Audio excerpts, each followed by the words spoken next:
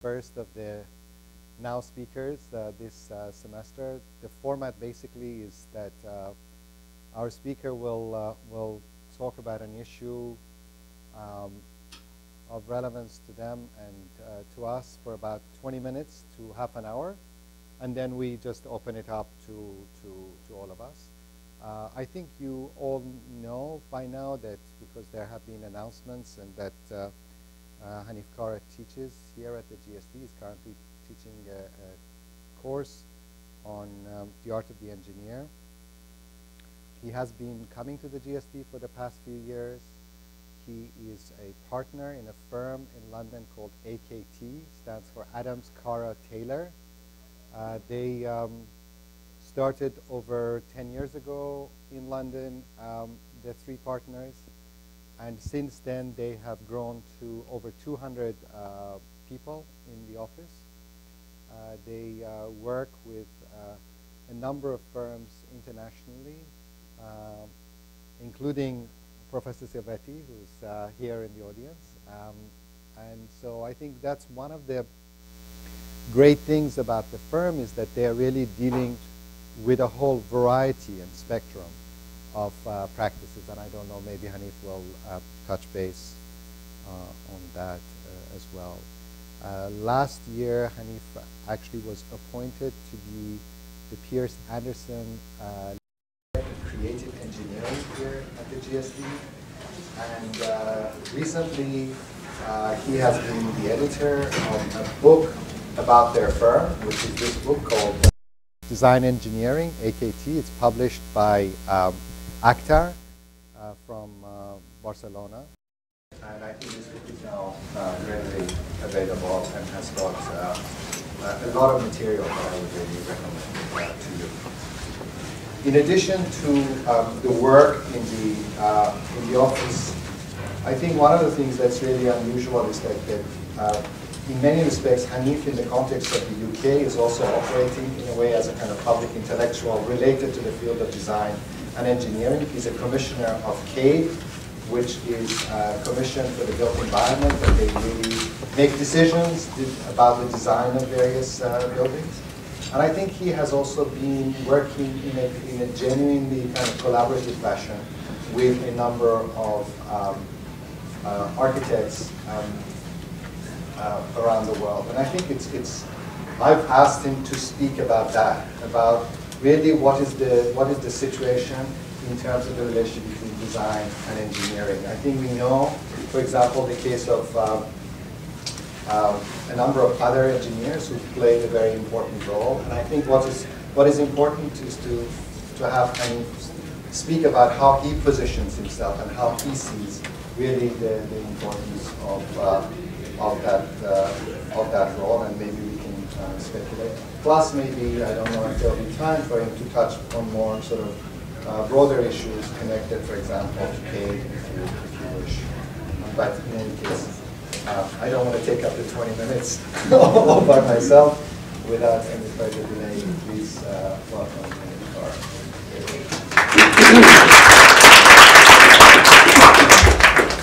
I'm going to try and provoke, uh, I hate text slides, but I had to just make up some words. Uh, I'm going to try to provoke a few points and maybe show you, illustrate what I mean by them with some philosophical ideas and then maybe show you current two or three current projects. I could do this for five hours if I really uh, had the time. But five points I want to make. One is that um, generally, as an observer, my view is that many architects are uh, perceiving structural engineers as parallel practitioners because you see us as people with knowledge and means to innovate structural design and probably people who have closer knowledge of construction and fabrication. That's one observation that at least I see that's slightly inaccurate. The AKT model has tried to promote uh, a different kind of pluralistic model of engineering, so positioning ourselves. Why I call it truly, what I would call it is, is really collaborative compared to some of the others um, that we can talk about in a minute. And we do that primarily through a very adaptive, literally adaptive structure in the office. I'll show you what I mean by that.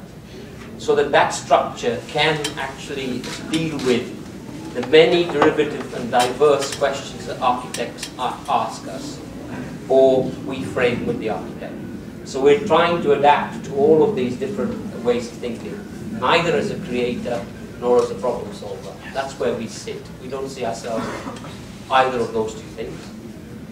We've kind of um, put this in, the, in a context of design engineering, which is quite a common paradigm, but our particular um, understanding or explanation of that in the book is that it's more, it goes beyond having a technical competence, that's a given, having an aesthetic um, appreciation, that's also a given.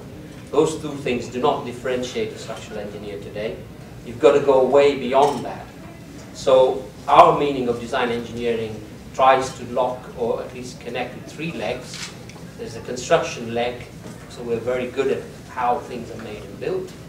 There's the leg of practice in structural engineering, and then the third leg is education, how we all educate each other and how education is actually affecting the other two legs.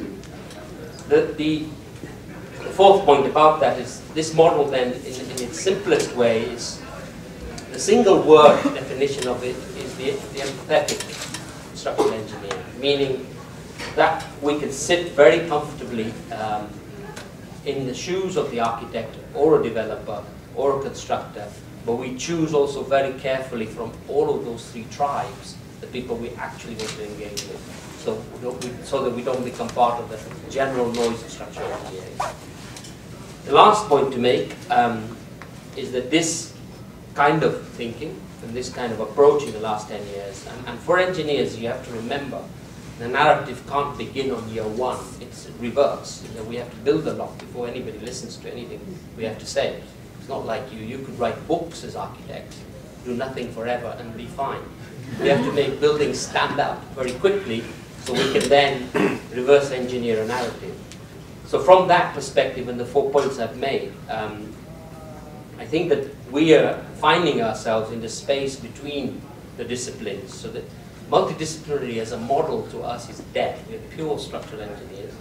We are interdisciplinary, so we organize ourselves such that those boundaries between disciplines that nobody wants to really deal with, um, and we can go into examples of that, we operate in that, that area. Often in the US particularly, it's where all the lawyers operate, we find. So we thrive in an environment which has high risk in between the disciplines, and I think that's part of the way we, we design at least uh, the way we describe design engineering. What that allows us is more than build, you know, that's just one part of it. But really the intention is to, to develop a shared discourse over time. For us now, it's, it's kind of year one of that discourse, that, that space between the disciplines and between construction and design.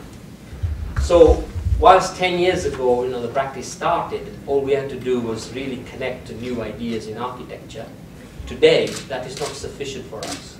New ideas in architecture do not allow us to, to operate. I'm going to fly very quickly through a couple of slides. There was a paper in a, in a magazine in, in, uh, in the US, a couple of, I think maybe last August, talking about the engineer's moment, which was typical of how um, I think journalists and uh, practitioners uh, and uh, those who don't actually do the work read the way engineers work. This, this huge atlas of engineers made stars out of a number of people, including myself, telling everyone how it was our moment in architecture. Don't agree with it, I'm afraid.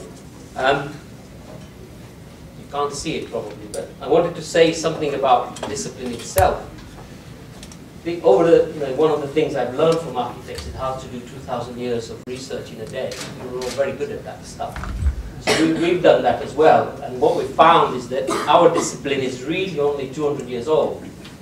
You know, over the, over the time in architecture, as we've gone from that left-hand model of the elephant carrying the bird to the model of the bird carrying the elephant, what has happened is you need calculations, you need all these clever things. You're therefore allowing the engineer to appear. Second point to make, what differentiates engineers today?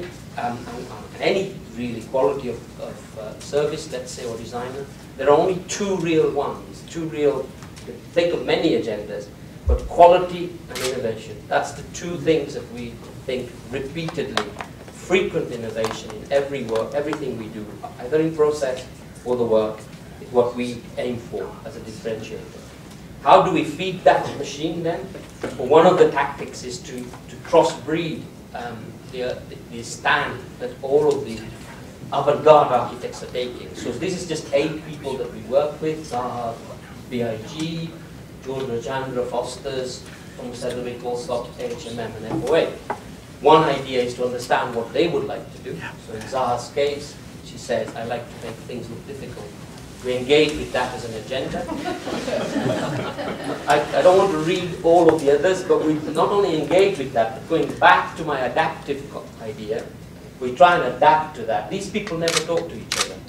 They talk to me. So I can translate stuff across these fields and actually breed, cross-breed without them even knowing what's going on. Um, what has happened in engineering is this diagram, very simply speaking, in the last mm-hmm. 10 years. The big thing that has happened is we've developed forensic tools rather than just form tools. So what we can do as engineers is almost anything we want. The difference is the engineers that are actually better are the ones who want to ask the question of why you want to do that, not just produce what it is you draw. We've found these tools then have become weapons often. What we find in that uh, sort of discussion or discourse is the design process itself is lagging behind, fabrication is lagging behind even further, but most of all, skills and education we think are way behind. So really we're the leaders of the world in this, in this discipline, the structural engineering. We're way ahead of you and everybody else that's doing these things that are far behind us, I think. In terms of tools, there's two things to say about the analysis. Um, you know, one good side of our tools in, in the previous diagram is speed. So something we could do in days in 1985 today takes us 45 seconds to do. The other problem with it, so I'm saying that as a promoter of technology and tools, really fantastic thing to do to create your work and we really love engaging with this. But what we are finding is that um, the majority of the, the, production of these of, of architecture and these schools or buildings is tool driven today. And what's happening is you get this shit made out of all these different software packages. And you end up with a situation where the compass no longer works. It doesn't know where it's headed. So the, the problem with technology has also become that many of the bad architects and there are many of you around, are hanging your architecture onto us or to the tools that you have. We don't do that with our tools. I'm going to, should I keep going? Yeah. So it's an adaptive model. I'm, going to keep going if you want. Um, we've been very literal in terms of the brand because, you know, with, with engineers we have to talk about love and money at the same time, unlike you. You guys don't just talk about love all the time. So what we have to do is cooperate across this field. And one of the things we've done is eventually had to, because our, a third of our work is developers and clients directly, we've had to have a corporate identity and we're playing literally the game of using the flock that, that adapts itself in our, even in our emblem and logo. The practice is organized like this as a studio. So what I mean by uh, an environment that creates this kind of innovation and quality is a spiral organization where the leaders, the most experienced guys on top and the least experienced people in the office at the bottom of the spiral can actually connect very quickly. And then the gradient between them is very simple. The point being that inexperience is actually as important as experience. So the power of having to relearn something very quickly from the younger uh, guy coming in the office is extremely important to us. This model is also wonderful when it comes to sharing the profit. If you stretch it, you take most of the money at the top, and the guy at the bottom gets less. Um, that's it. Um, one more slide.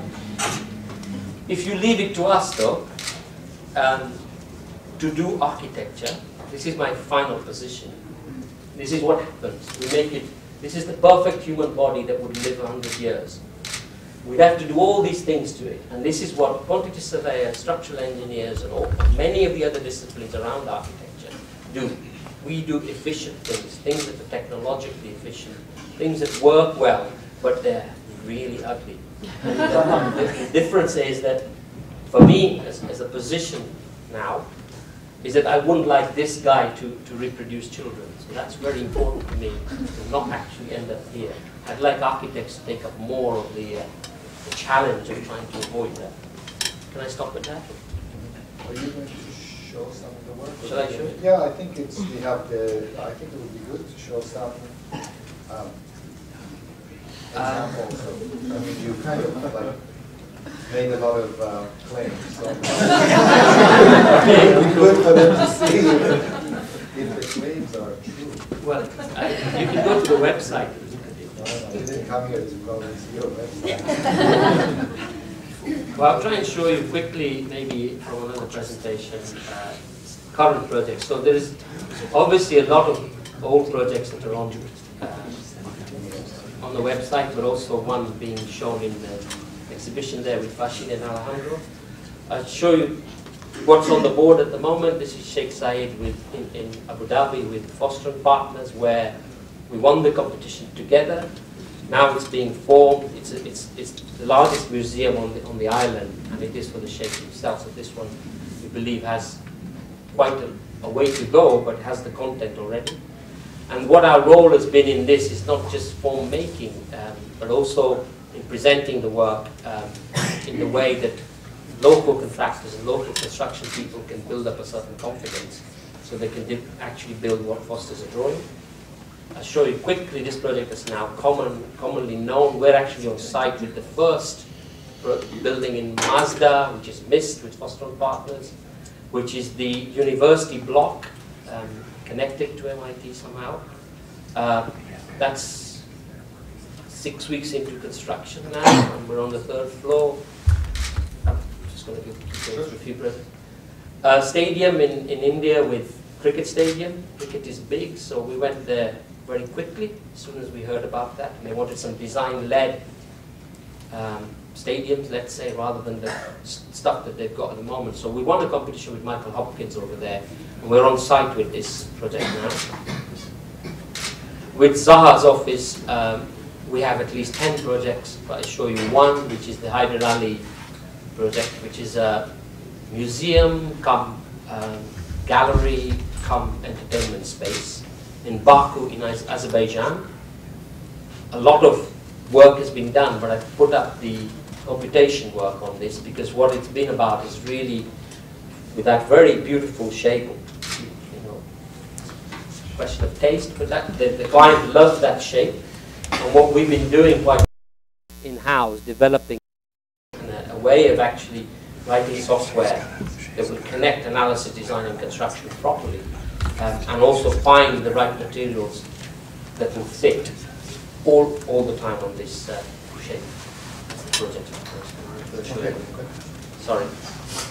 Um, So I think uh, it would be good just to uh, hear a little bit more um, explanation of a few things um, before we open the thing up. For example, we talked about uh, the way in which the field of engineering has changed, going from the elephant supporting the bird to the bird supporting the elephant. And this concept of forensic tools rather than form tools.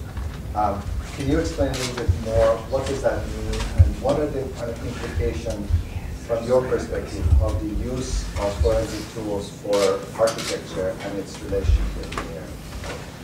If we're going to use them uh, in a good way, the, the thing that they're doing is allowing that real um, connection between macro and micro.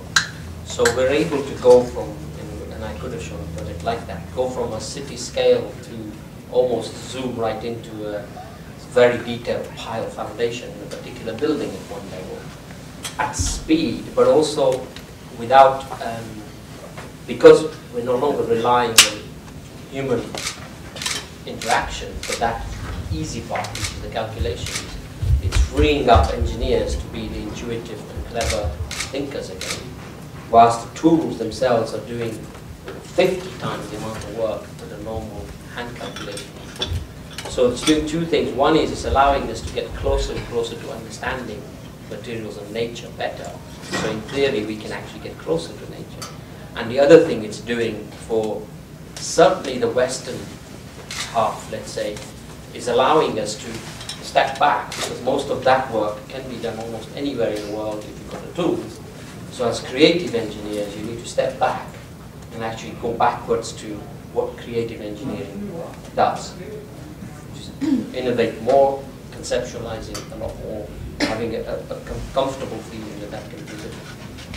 So um, if these forensic tools are helpful in terms of you uh, being able to innovate, you mentioned also the pairing of quality and innovation. Who, who decides uh, what is innovative? What do you mean by innovation? Give us some sense of what you consider to be innovative and who decides what is quality uh? Because now you, in a sense, sort of abdicated that responsibility to the architect by saying you, in a way, I mean to be to be just blunt about it, saying maybe the engineer is not qualified to make aesthetic judgment. So who who decides quality? Well, I shouldn't. First of all, I should take back if I gave the impression that you're entirely responsible for aesthetic judgment. Um, I, I, didn't show my last slide. Maybe I jumped it, but let me just show it quickly. What, what I I help decide what, what is aesthetically pleasing as well. I don't sit back as an engineer in doing that. The difference is that the first statement I made about, so this is me, when you hit your hammer on the thumb, I feel the pain. There's a difference between that approach, the empathetic approach of an engineer. So I can appreciate your, your aesthetic value compared to the parallel practitioners in engineering who are imposing engineering as a way of doing architecture. There are many who are actually just, and architects are encouraging this, particularly the bad ones. You know, they will draw, struck the longest span or the biggest cantilever and say that's architecture. And there are engineers who are doing that as well, you know, saying, I can do with my tool this stuff. The tallest building in the world, never asking the question why, or never stopping to say, I think that's ugly. So the word beauty is quite important to me personally. And I think that in, certainly in our case, how we define innovation and quality of space starts from the origin of the project. We've been selectively careful in choosing uh, what's pleasing to us as a client or as a project. The eight people I showed are, are world-class architects, and there are many like that that we work with. In the same way, we've been very selective about working with the coolest developer and the biggest developer to mix this idea about love and money at the same time. So we, we, we find that innovation is not something you can just lay out, but it's a cultural thing within the office. If you create an environment that allows people to question everything all the time, you find sometimes really old ideas turn into something new and shiny, but are quite innovative when you bring it back to the table.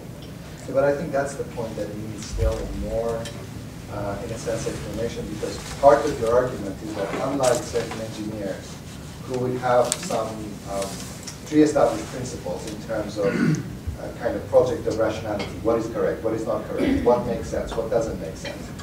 You are part of a, maybe uh, a, a much smaller group of people who think more opportunistically in terms of the kind of conditions that are available, the realities of, of the marketplace, the kind of situations that architects are facing, you yourself are facing, and, and being in one sense sort of more pragmatic and dealing with quality and innovation through a sort of mode of pragmatism, if I yeah. understand it correctly. Yeah.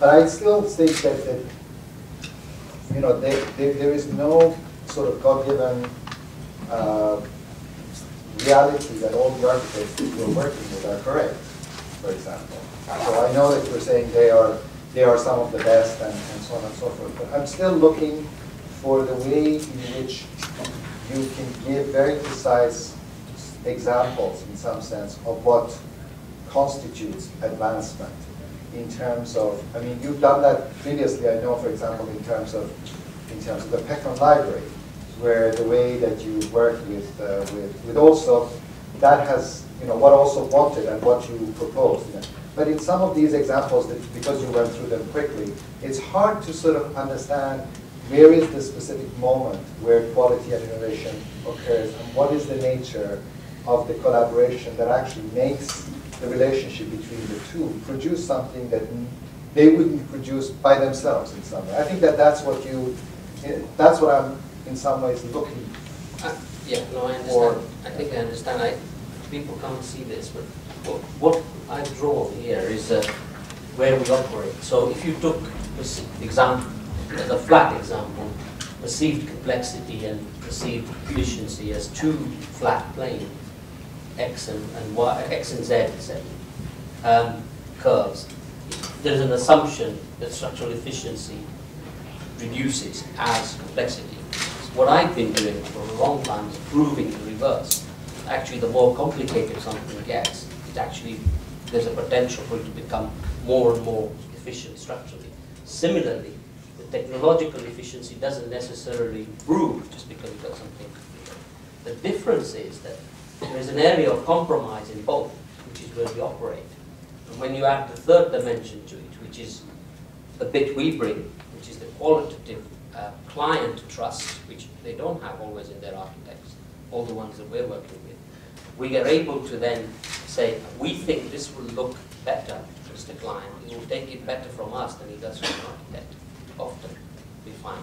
So adding a, a third dimension to, to the kind of area of compromise that we're working in, we don't believe in um, construct, the most efficient construction system as being the most beautiful in the world of engineering. That's probably it. You know, so we will do things that are slightly more difficult and inefficient structurally in order to get a better space, or to get something beyond technical efficiency, let's say. And that plays out in all of the work because most of the time the sort of people we're working with have developed, it's a developed culture within their own organizations. When you bring the sort of culture I've been talking about, they- they're fairly good engineers, a lot of these people. What then happens is that there's a given acceptance that they know something about what we do and we know something about what they do.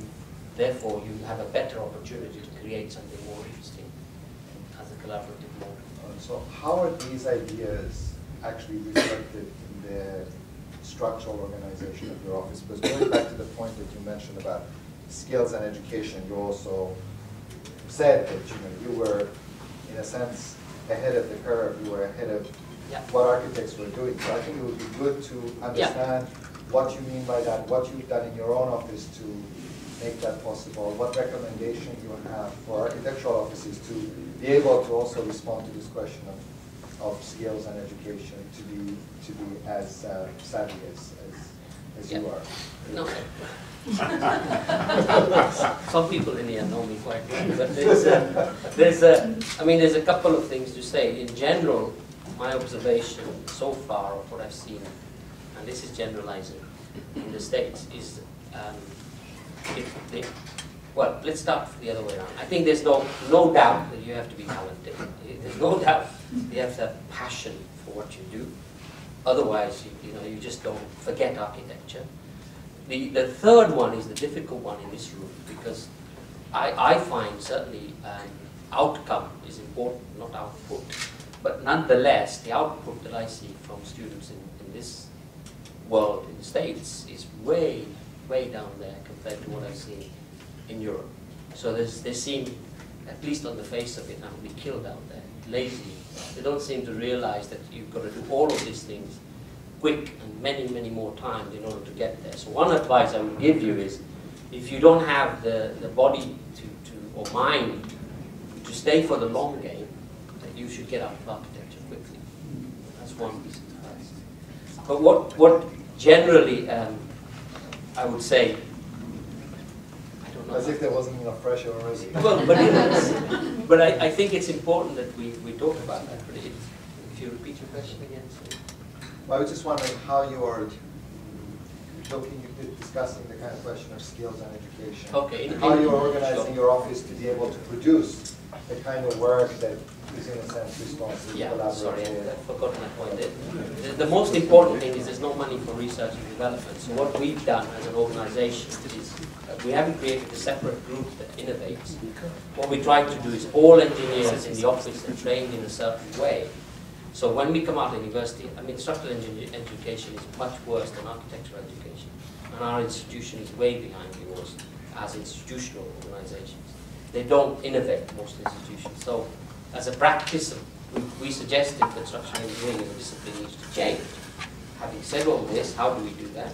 One of the things is that we come out with an undergraduate and postgraduate degree and very technically competent, but what we need is all the other skills in, in the engineering office. So we have been, through the educational system, uh, formed a group which now is 15% of our organization. It's called PART, which is part of our work. And in that group, and that group is available free of charge to anyone in the office to engage with, has computational people, architects, graphic designers, a, a number of other disciplines that allow the structural engineer to sharpen his tool in a way, the, the tool of structural engineering, not to stray away from that, not suddenly become a graphic designer or a scientist, computer scientist, but really to have that ability to communicate and decipher what the other side is trying to get across to them.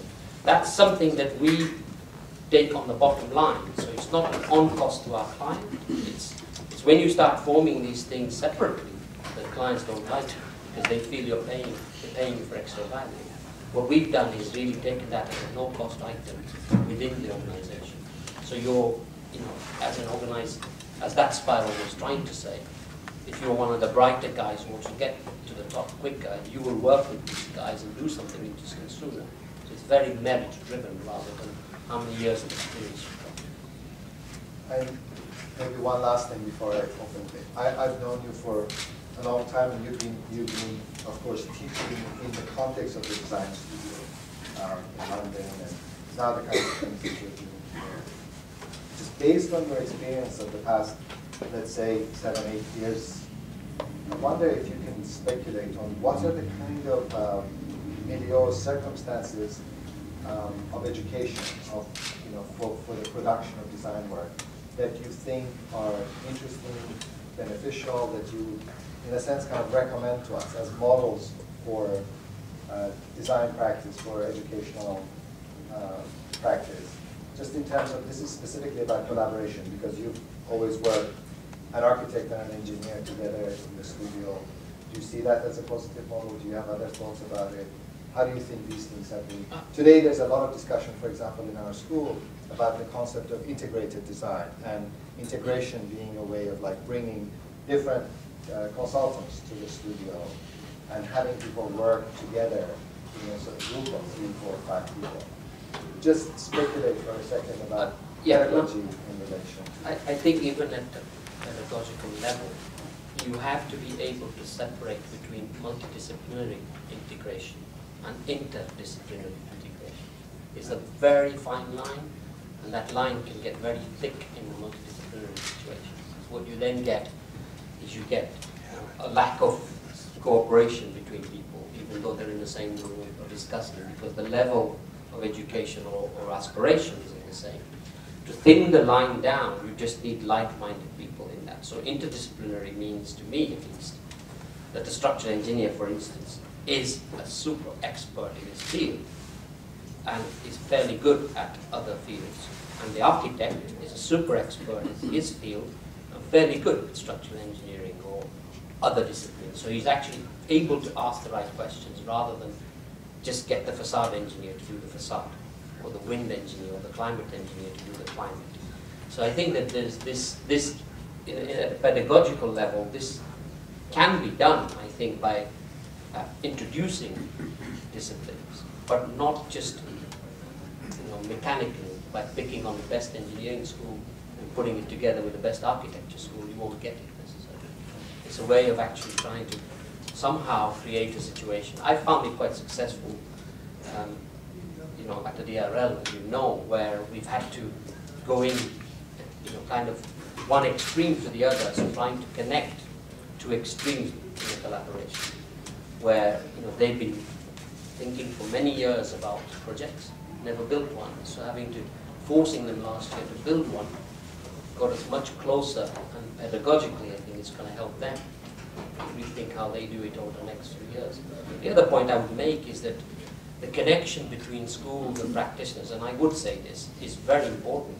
I mean, I see it in two forms. One is those that are glad to be there practitioners. There's lots of them. They go to lots of universities and they're just glad to be there. and those that are really engaged. And the vice versa also works, I think. So that's one thing that's important. The, the, the, that can be exploited a bit more. Um, the, the dilemma for most universities, I guess, is that there's a lot of people, highly qualified people who've been there, you know, 30, 40 years. And how do you make room for people coming in for a temporary situation? But I do believe that that must be the way forward, where you have different ideas for a number of years, rather than one idea for a long time. You know, some, some way of actually changing the pedagogical uh, structure, so you encourage that. Mix experience and inexperience in a way. So maybe I could, um, I, I do want to ask you about the CABE and your role within now kind of wider thing, if you, if you want in a second, but maybe we can um, get some uh, questions, responses. I think Hanif has put a lot of issues uh, on the table, and I wonder if uh, there, are, there are questions that you have. Please. How do you see the state of education, Just get to it, sorry. and maybe, how do you see the state of education for an architect in terms of understanding how things are made physically at the graduate level, Europe, US, everywhere? Is it adequate? Does it need Well, I, more stress? No, it does, but I think one of the, I have to go back to when I was a graduate, and I used to go and look at buildings without my teachers telling me. And I used to find the detail for cladding, you know, I used to go and do those things. I don't think it's all down to the teachers or the way we frame the syllabus. I think it's also down to those who want to continue in this, in, architecture. Need to understand that, you know, you look, I get this at architecture schools all the time. How big shall I make my column? And then I touch one and say, look, that's it. You need to know, I mean, you need to observe what's around you to understand what you can pick up. so, one point, one point is that, is that not always to, to find new ways of getting them to learn how to make it. That isn't that difficult.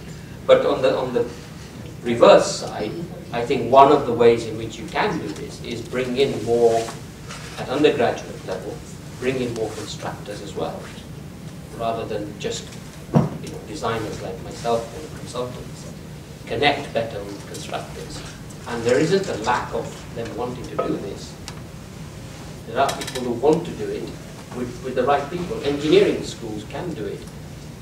The problem they have is that they end up patenting something too early and so on and so on. But with architecture, I think there's a way of bringing in you know, selective um, constructors into the discussion early at the graduate level.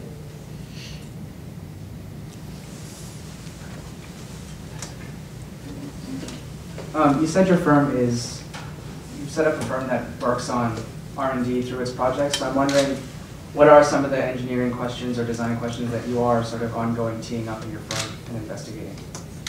Well, today, I mean, it's, it's a long one, that, because I, you know, I can show you a whole load of structures, but for example, if you took one of our last projects was Phaeno Science Center. Phaeno Science Center was made out of self-compacting concrete, which had hardly been used at that scale. And that research that had to be done was not funded by anyone else. We chose to make the research ourselves and actually pay for the whole thing to work in order to get appro approval of it in Germany. So we have material research that comes as a consequence of an ambition in the project. The other thing that we're trying to do, which is speculative uh, games, where we're trying to still, and it's very hard, as Jordan knows, because he spent two years in the office trying to do this, trying to connect our tools with the tools of the fabricator and the tools of the, of the architect, because there isn't still a, a, a tool that does all of the things. So there's a few things like that going on in the office. Another type of uh, research that's going on is you know, forms, hybrid forms, because uh, the diagram that I, was trying to jump across, where you know, this used to be architecture as we knew it. Today, when you morph all these things, a beam is not a beam, an arch is not an arch, it's all, everything is in between something else. So what we're trying to do is really think of new hybrid forms that will do this. So bridges and towers combined and so on. This is just stuff we set up ourselves, but majority of the work is done through projects. So recently, we've tested some really long glass beams with the university, for example. Any other? Peter, here's a, here's that mic. What? It's, it's a very simple question. What are the, the tools that you use? What's the range of tools at your disposal in your office? The range from, all the architectural packages are all the ones everyone else uses, Rhino, so and so on. Uh, we have um, three different FE packages. Sofistik is the most advanced package. For, for very quick analysis, we use multi-frame, and that is very, we've actually compared, you know, when you do a quick analysis on one package, how much will it change later through case studies. So we know which one to use when.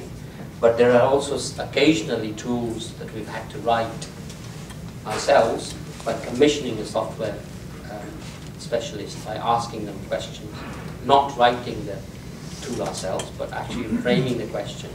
Uh, for example, if you take Sofistik, there were things it couldn't do, and we had to actually say we want to do this irrespective of whatever the manufacturer says. We had to get in a computer scientist really assist us in, in framing that and developing that software further, which then went back to the owners and is now licensed fully. You are ahead of us. I just, uh, that was provo- provocation. you know, and make- Um, hello, I'm sorry I had to arrive late, so I didn't see the talk, but I was curious because it had mentioned civil engineering, and I'm actually a landscape student here. And so I'm wondering, um, how you approach the landscape and, how about uh, the building relates to its surroundings, especially since so much of that is what we're trying to deal with as far as sustainability issues and things like that.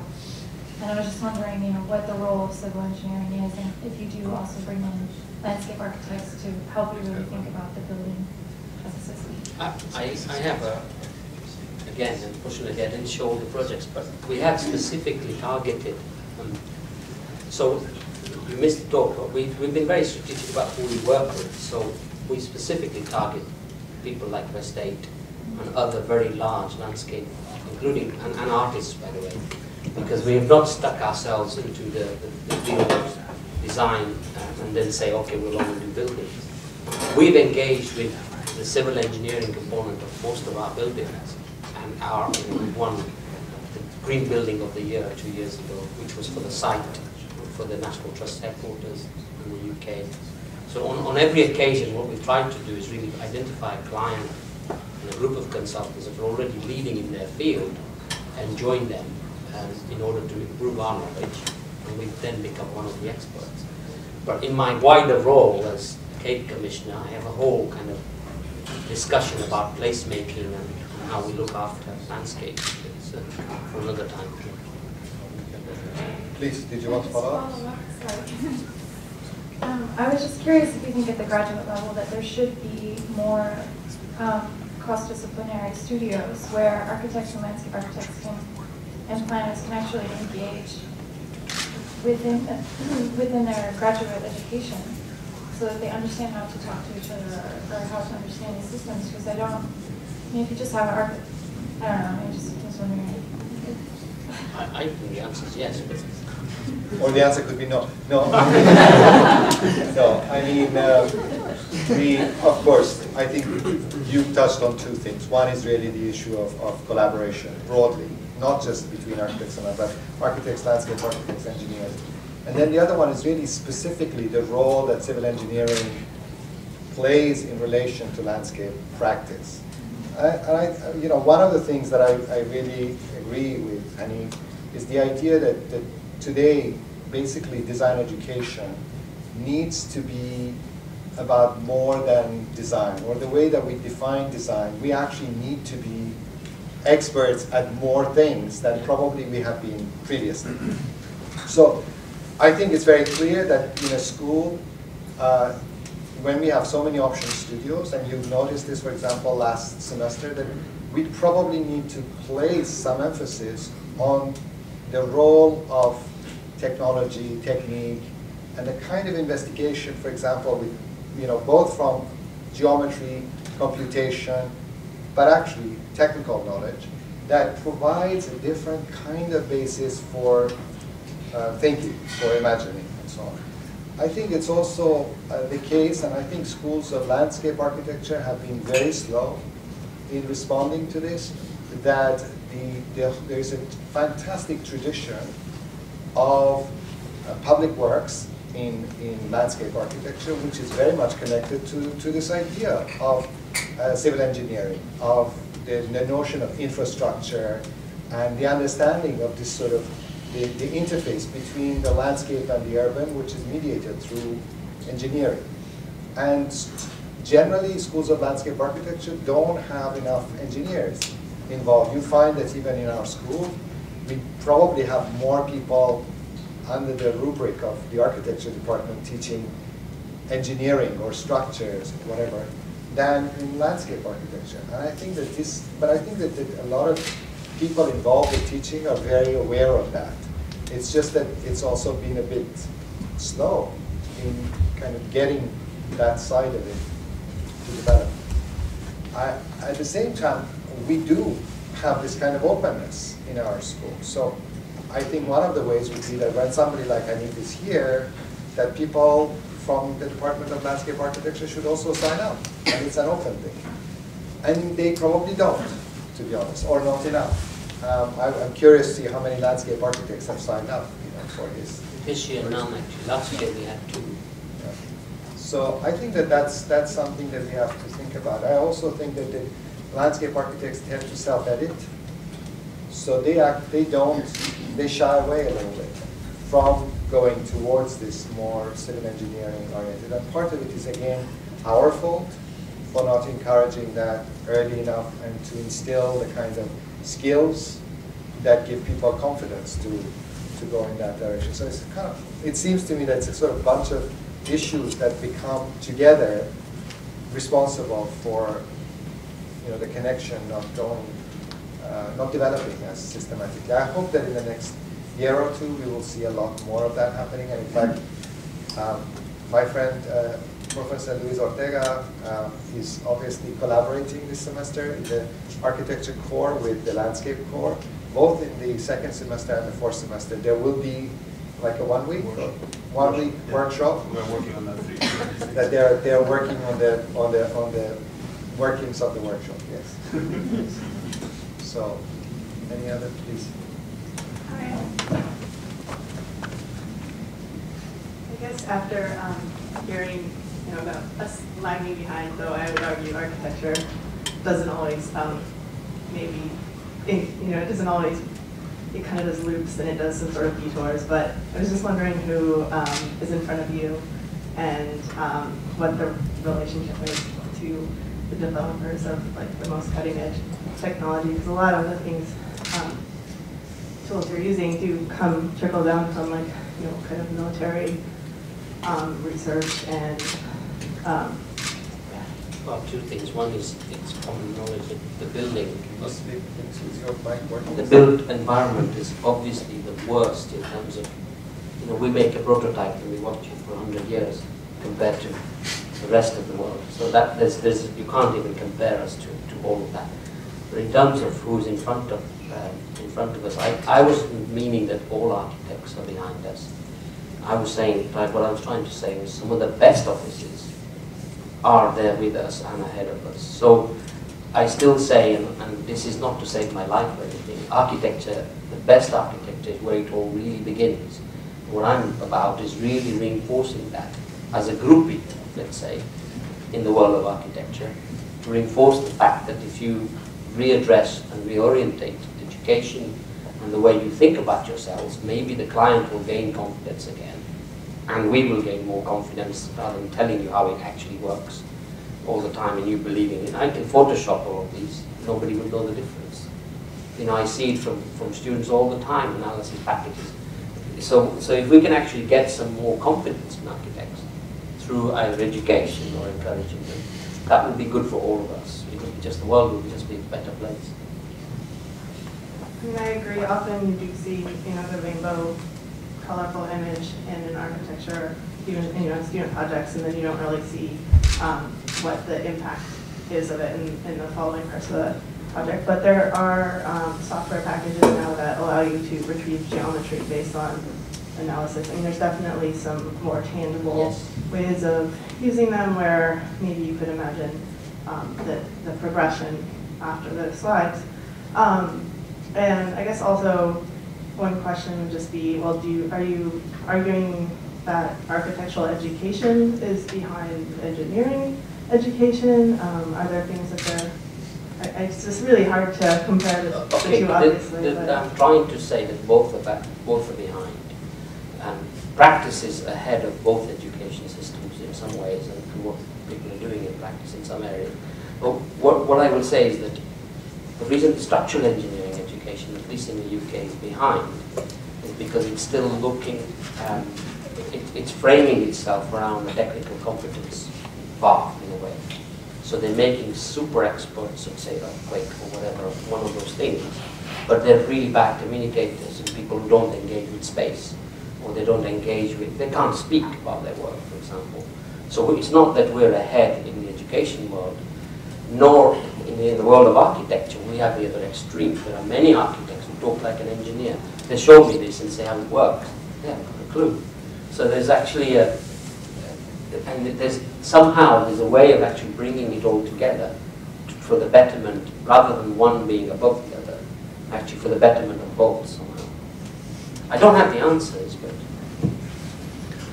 Um, on, on, I wasn't gonna speak, but on that, on this just last comment, you know, sort of brings to my mind, um, a question about the future, uh, which is look at ahead in terms of, uh, education and practice, which is what we've been talking about.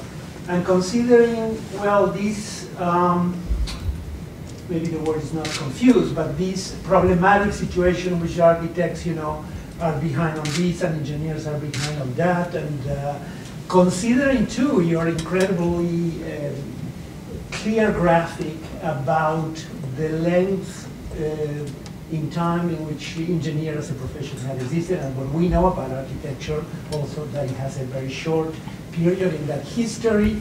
Uh, you know, there are still people alive in the field of architecture who used to go to schools of architecture or engineer to get a degree in architecture. So uh, all these things have been changing, and we know practitioners that things have changed in the last 20, 25 years. Incredible. We are really practicing differently.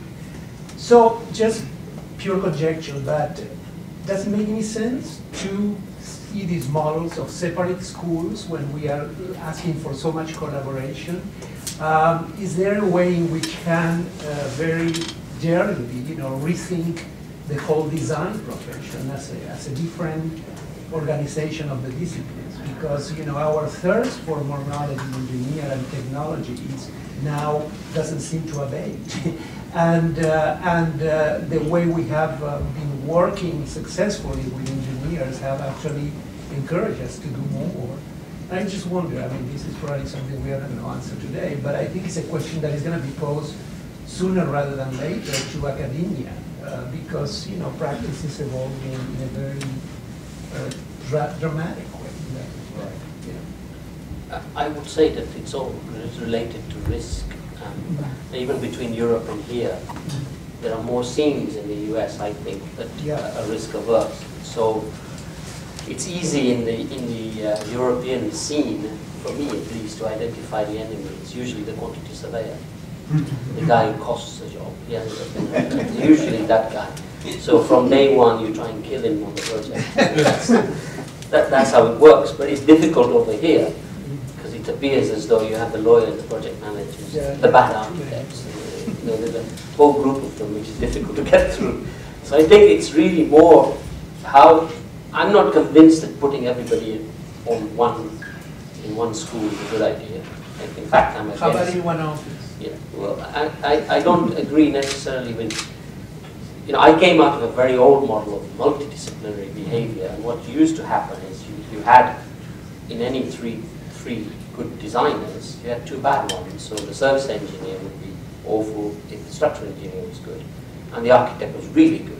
So you never got the combination of all three really good people. And that's why I think you need to separate it, and I think you can play that back into education, in that if, if the pride in a particular um, discipline is what an educational institution wants, like pride in architecture, it should be allowed to do that at its best.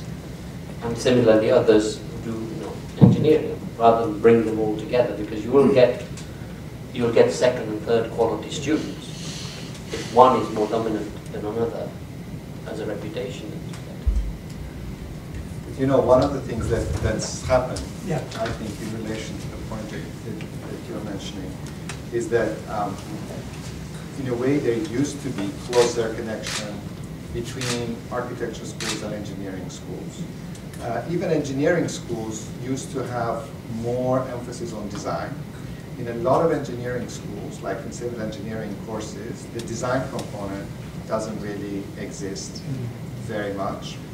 Um, there are a few schools that still have uh, engineers and architects work together in the first year, like in the first semester, do some kind of a project. But generally, that seems to have sort of disappeared. Uh, what seems to be happening now that is different is the idea that the collaboration somehow is producing a different kind of work through the proximity of people being together, and that it's really the role of the architect and the role of the engineer um, and the role of the environmental systems people is being redefined. If anything, I, I am guessing that in the next few years, we will in fact even see a much greater emphasis on the environmental people more than, than the structural engineers. Um, because we have been doing so many of the things linked to the notion of the expression of architecture, and I think that we will be really emphasizing a lot more the question of the performance of the building and its thermal, thermodynamic kind of environment. So I think we will be working more on those kinds of issues. So I think what's very interesting about what you're saying is that the collaboration means actually that maybe what I've sensed is that the model where we have a studio, then we have a course, and we have another course, and we have another course, and we somehow hope that by magic, things will kind of um, coalesce together They don't. has certain limits and that that doesn't happen. And that one needs both. One needs to have courses where people are really studying specific things. At the same time, we really need to have the, the environmental systems people and the structural engineer as part of the studio, which is what we are doing more. That is really the way that we're thinking through a project would happen. I think this, for most schools, this is a very difficult thing to do because actually in terms of the structure of time allocation, the financial side of it, the budget, all of these things, there's every reason why one shouldn't do that. And, and yet that's what one really needs to do. And I think that's going to be very important for us to, as a school, to kind of sit around and, and think about things. Would it not be, or would it be right to say public to teenage sex? He said that basically all of these people are like teenage, everybody talks about it, a couple of people do it, and maybe one lasts about two seconds when they do it. And this is how they can, that's what's happening next if you're not careful as architects. You're going to get this big green guy coming in telling you how to do your buildings. And, and the danger you face. So, so I, I We're would really blame going him. to feel inadequate after this. the problem is we're opportunists. You know, engineers are taught to converge and, and, and take opportunities. That's how we're, we are. You know, it's a very lean machine in that sense. What the architects need to do is actually learn rather than be taught about those games. So they're able to. I, I can tell you that some of the offices I work with, I would not get away with this discussion. Because they know I work with them regularly and we have, you know, charrettes when we're doing the competition. And they actually know a lot about what I do. So it's, I've always got to be not only as good as I am, but thinking about what is the next thing it's going to force me to do. And, and, and that's where I think schools need to get to somehow. Mm-hmm. Because being average is not, is no longer good enough. Mediocrity surrounds us. Did you have a question? And then I know that, uh, I'm not sure there is an answer to that question, I still have to get a response from you. Um, Obviously, I think you are a a structural engineer who understands the language of form and, you know, from architects. So to what extent that you think a structural engineer knowledge is appropriate for an architect to get in a way that they will understand your language, but not necessarily to, you know, go into certain depth of your profession, and become a kind of, you know, architect slash engineer. Of course, if everybody can become architect slash engineer slash developer, everything, that's wonderful. But due to the limitation of time, resource, all these situations, I think if to certain level, there is this common language can be established, it's certainly beneficial for architecture students or for architects that they can tell that what your graphics is representing, but not necessarily going back to calculate the forces, all those things by themselves. I think that it's, it's a very good question because, as I said, and I repeat it, you have to be a really good architect, a fairly good engineer. To become a fairly good engineer is not. I'm a fairly good architect. Nobody taught me that. I'm not an expert engineer.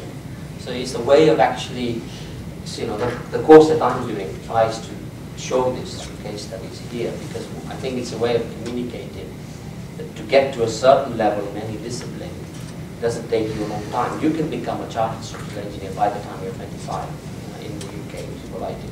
Then what do you do for the next 25 years? So it must be the same for architects, in my opinion, that you can actually learn the basics of other disciplines. It, historically, you used to know this. It's only the risks that you didn't want to take that you've given away of this stuff. Geometry is an example of that. You know, suddenly we're into parametrics. What's the difference between that and geometry? It's the same thing. So I, my, my, my answer would be you don't need to know a lot more about structural engineering before you can make your architecture better. So you don't need to do a whole course on how to make a beam stand up. Those things are intuitive. You, you need to understand the basics of what questions to ask the engineer. But I guess that question is more from a pedagogical uh, structure point of view. Because, I mean, architects used to be the idea originator in the process of building. And now, for them to keep that role, they are challenged to learn as to know as much as they have to be. And structural engineer or others used to be the service provider to feed the information to the architect. So obviously, that status is shaking. And how, I mean, from the pedagogical structure point of view, that they can regain that without losing their identity of being the leader, being the ideal originator of the project. Well, let's get this right. The best buildings that I've worked on, the architect has been the originator. He's just been forceful about it, even when he hasn't built anything ever before. He's just got the right people around him, but not allowed them to take over the architect. That's the difference. Uh, and I'm not, uh, I'm not evading your question. I think it's doable. Guys behind you, two of them that I've worked with, might be able to expand. Iñaki, did you want, or there's a person? Just, there's a mic that's coming and then I think somebody else.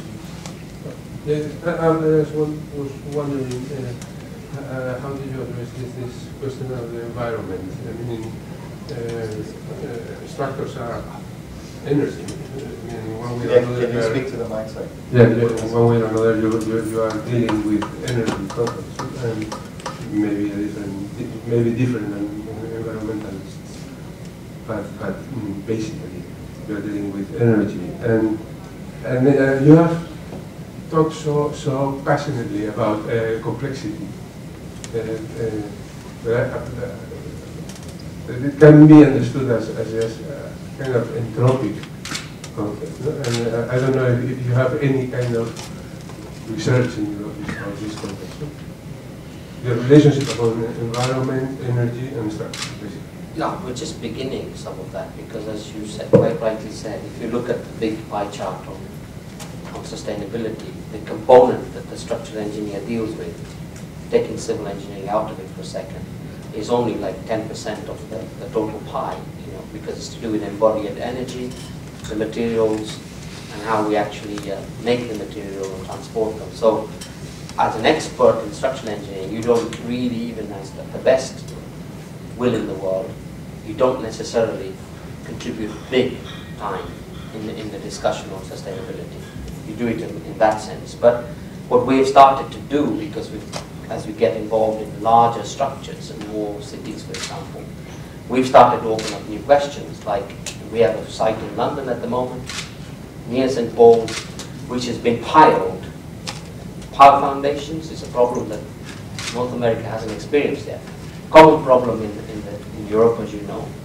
we're piling for the fourth time on, on some of the most important sites. There's no room to come back and pile again. So we're stopping future construction on this site, and it's right next to St. Paul's, one of the most important places for us. And this is something that is a sustainability question. So what we've started to do is actually investigate and develop tools that can go back and, and give assurances on reusing piles, for example, or find ways of using old and new piles together to give a more sustainable uh, potential. So there is, there is work going on at city scale and at transportation and infrastructure scale. At the building scale, it's usually been, um, and, and I talk about complexity because I believe truly that to make things simple, you've got to go into complexity.